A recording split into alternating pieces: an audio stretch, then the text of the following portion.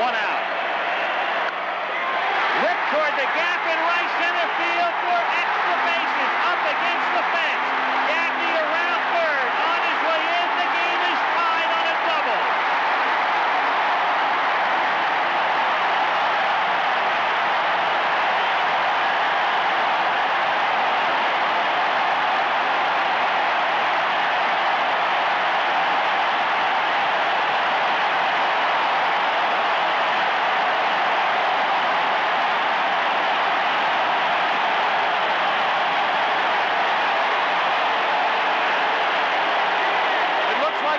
Kirby Puckett inside outs this.